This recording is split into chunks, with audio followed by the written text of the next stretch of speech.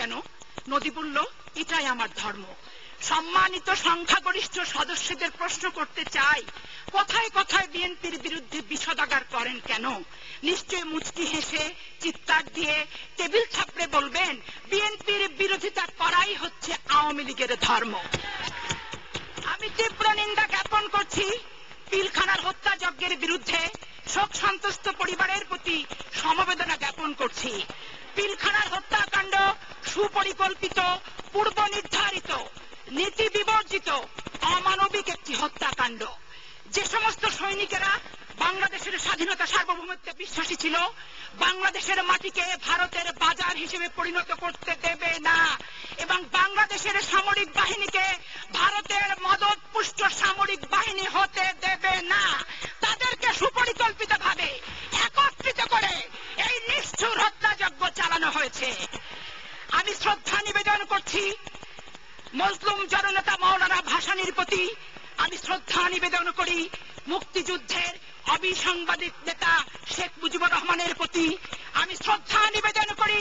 কালুরঘাট বেতার কেন্দ্র থেকে স্বাধীনতার ঘোষক আমি মেজর জিয়া বলছি।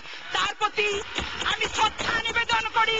মুক্তিযুদ্ধের সর্বাধিনায়ক জেনারেল ওসমানীর প্রতি। আমি নিন্দা জ্ঞাপন করি রাষ্ট্রপতির এই ভাষণকে।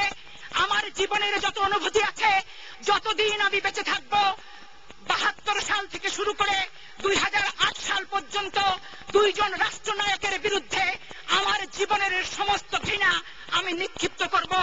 সেটা হলো খন্দকার মোস্তাক এবং রিয়াজউদ্দিন আহমেদ। খন্দকার মোস্তাক কালো বিল পাশ করেছিল ইন্ডেমনিটি ইয়াজউদ্দিন পাশ করেছে কালো আইন জরুরি বিধিমালা। দুজনের বিরুদ্ধে আমি ক্ষোভ প্রকাশ করছি। লগি বৈঠার আন্দোলনের ফসল ফখরুদ্দিন আর মইনু আহমেদের সরকার। দেশনেত্রী বেগম খালেদা জিয়ার বুক থেকে দশ মাস দশ দিন গর্ভে ধারণ করেছিল যে দুটো সন্তানকে। তার জীবদ্দশায় বাংলাদেশের পনেরো কোটি মানুষের সামনে বিপুল হারে নির্মম ভাবে নির্যাতন করেছে, কোমর ভেঙে দিয়েছে, পঙ্গুত্ব যার সারা জীবনের সম্বল হয়ে দাঁড়িয়েছে। আজকে শুধু তাই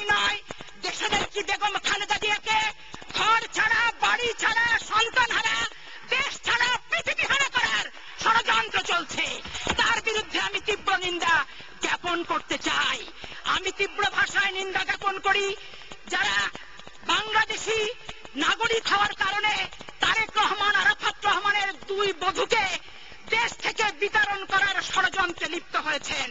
আজকে আপনারা বলতে চাচ্ছেন, ক্যান্টনমেন্টের বাড়িটি শহীদ পরিবারের জন্য দান করা হোক। আমি আপনাদের উদ্দেশ্যে বলতে চাই, এই জাতীয় প্রচার মাধ্যমে সেই শহীদ পরিবারের উদ্দেশ্যে বলতে চাই, এক শহীদের রক্ত দিয়ে কখনো আর এক শহীদের রক্তকে পদদলিত করা যায় না যায় না, যাবে না। আজকে শহীদদেরকে, শহীদ পরিবারদেরকে রাজনৈতিক হাতিয়ার হিসেবে ব্যবহার করার অপচেষ্টায় আপনারা লিপ্ত রয়েছেন যেদিন রাষ্ট্রপতি জিয়া মারা গিয়েছিলেন। সেদিনে দেশনেত্রী বেগম খালেদা জিয়া নেত্রী ছিলেন না, গৃহবধূ ছিলেন। রাষ্ট্রপতি জিয়ার রক্তাক্ত লাশটি ছুঁয়ে শপথ করেছিলেন। উনি যতদিন বেঁচে থাকবেন, বাংলাদেশের স্বাধীনতা, বাংলাদেশের সার্বভৌম গণতন্ত্রের জন্য জীবন দিয়ে যাবেন। সেদিন ওই রক্তাক্ত লাশটি ছুঁয়ে উনি শপথ করেছিলেন এবং জনগণের উদ্দেশ্যে জিয়াউর রহমানের হত্যার দায়িত্বটি বাংলাদেশের জনগণের হাতে অর্পণ করেছিলেন। তাই তো বাংলাদেশের জনগণ বারবার দেশনেত্রী বেগম খালেদা জিয়াকে ভোট দেয় তাকে নির্বাচিত করে তাকে প্রধানমন্ত্রী করে এবং তার যে সমস্ত আসনে যতবার উনি দাঁড়ান তার আসনে যতবার তিনি দাঁড়ান ততবার বিপুল ভোটে উনি জয়লাভ করেন। উনিশশো মাননীয় সদস্য, গণতন্ত্র মাননীয় সদস্য, বেগম খালেদা জিয়া আপনি ঝাঁপিয়ে মাননীয় সদস্য, আপনার নির্ধারিত সময় আর দু মিনিট বাকি আছে।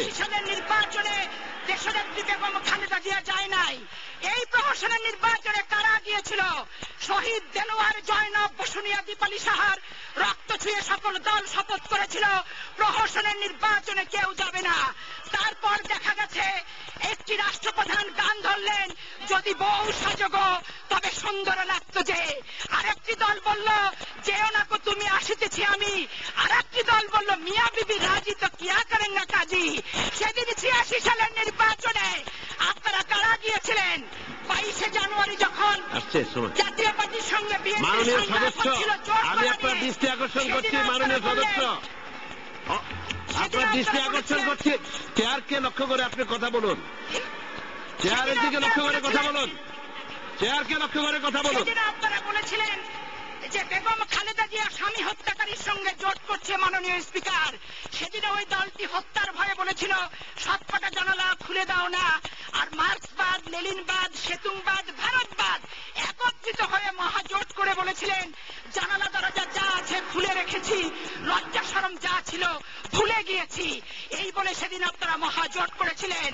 আজকে বিএনপি যদি ক্যান্টনমেন্টের দল হয়, তাহলে আমি প্রশ্ন করতে চাই স্বৈরাচারের আপনার সময় পাঁচ মিনিট বাড়ানো হয়েছে। পাঁচ আর সাত বারো মিনিট। ফাইভ স্টার হোটেল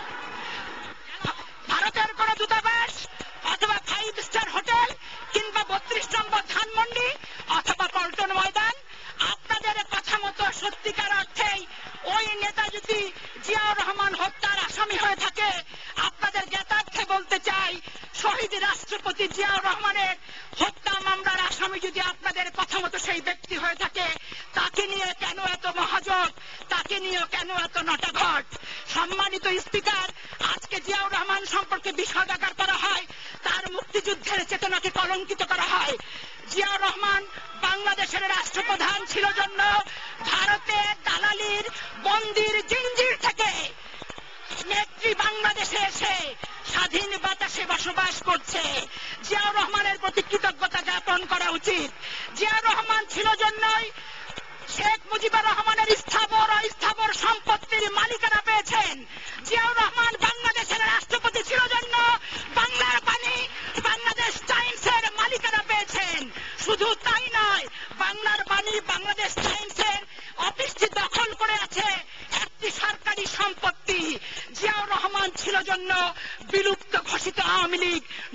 জীবন দান পেয়েছেন।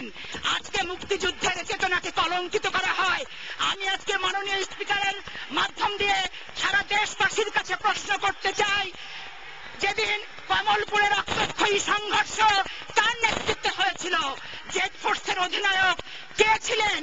পঁচিশে মার্চ, গভীর রাতে কালুরঘাট বেতার কেন্দ্র থেকে ইথারে ইথারে প্রকম্পিত হয়েছিল যে স্বাধীনতার ঘোষণাটি। আমি মেজর জিয়া বলছি বাংলাদেশের স্বাধীনতা ঘোষণা করলাম। এই কণ্ঠটি কার ছিল? আমাদের ধমনীতে যে রক্ত প্রবাহিত হয়, এ রক্ত কোনো ভারতের তাবেদার বাহিনীর রক্ত নয়। আমাদের ধমনীতে যে রক্ত প্রবাহিত হয়, এ রক্ত কোনো ঘোষিত বেগমের রক্ত নয়। আমাদের ধমনীতে যে রক্ত প্রবাহিত হয় সাত সম্মেলনের উদ্যোক্তা, জোট নিরপেক্ষ আন্দোলনের প্রবক্তা, জাতীয়তাবাদী স্থপতি রাখাল রাজা, শহীদ রাষ্ট্রপতি জিয়াউর রহমানের রক্ত প্রবাহিত হয়। যেন তার কণ্ঠ থেকে শেষবারের মতো উচ্চারিত হয়েছিল।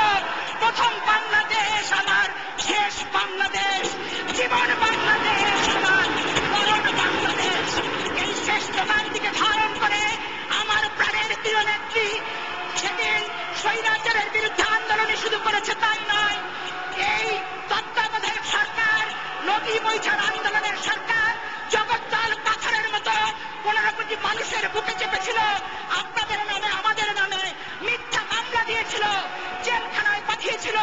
সেদিনও খালেদা জিয়া বলেছিল বিদেশি আমার বন্ধু হতে পারে প্রভু হতে পারে না। বাংলাদেশের তারা জীবন দুঃখের হোক কষ্টের হোক আমি সব সপরিবারে যাব তবু বিদেশের মাটিতে আরামে জীবন যাপন আমি করতে পারি না। তাই তো সে সেদিন জেলখানায় গিয়েছিল কষ্টকর জীবন অতিবাহিত করেছিল। হ্যাঁ? আজকে আপনারা বারবার বলেন বিএনপি ক্ষমতায় থাকতে অত্যাচার করেছে নির্যাতন করেছে, ইত্যাদি ইত্যাদি, বহু কথা। আমার বান্ধবীদের প্রতি, সম্মানিত সংসদ সদস্যদের প্রতি আমি আপনাদের দুঃখ, কষ্ট, সমস্ত কিছুর প্রতি সমবেদনা জ্ঞাপন করে একটি কথা বলতে চাই। উনিশশো ছিয়ানব্বই সালে যেদিন আপনারা ক্ষমতায় এসেছিলেন, তেইশে জুন শপথ গ্রহণ করার এক ঘণ্টার মধ্যে নোয়াখালীর সুমনকে হত্যা করেছিলেন। গুলিবিদ্ধ করেছিলেন নোয়াখালীর নাসিরকে, ড্রিল মেশিন দিয়ে। ক্ষত বিক্ষত করেছিলেন, তুষারের দেহটিকে লক্ষ্মীপুরের অ্যাডভোকেট নুরুল ইসলামকে হত্যা করেই শুধু ক্ষান্ত হয়নি মাননীয় স্পিকার। লাশটিকে একটি খণ্ডে রূপান্তরিত করে বস্তায় ভরে নদীতে ভাসিয়ে দিয়েছিল। সেদিন বাংলাদেশের মানুষের ওই বিধবা স্ত্রী, অসহায় কন্যা আর তার মৃত্যুপ্রায় মায়ের চোখের পানি আহাজারিতে লক্ষ্মীপুরের বাতাস সেদিন ভারী হয়ে উঠেছিল। আপনারা দেখেছেন মহানগরীর নেতা অ্যাডভোকেট হাবিবুর রহমান মন্ডলকে কোর্ট চলাকালীন সময়ে প্রকাশ্যে গুলি করে হত্যা করেছিল। তারা জয়নাল বাহিনী, হাজারি বাহিনী, ইকবাল বাহিনী, শহীদ বাহিনী, মজুমদার বাহিনী, বিভিন্ন বাহিনী তারা গঠন করেছিল। আর জাহাঙ্গীরনগর বিশ্ববিদ্যালয়ে ধর্ষণের সেঞ্চুরি উদযাপন করেছিল। আজকে আপনারা বলেন যে আমরা নাকি কলঙ্কিত করতে চাই। লাশের উপর যারা নৃত্য করে যারা ডিজিটাল বাংলাদেশ করার স্বপ্ন দেখে তাদের জ্ঞাতার্থে সম্মান রেখে বলতে চাই বাংলাদেশের শিক্ষা প্রতিষ্ঠান ধ্বংসের মুখে ভারতে বাংলাদেশের মেধাবী ছাত্র ধন্যবাদ মাননীয় সদস্য আপনার সময় শেষ। ধন্যবাদ। এখন আমি বক্তব্য রাখার জন্য আহ্বান জানাচ্ছি মাননীয় সদস্য বেগম পারভিন তালুক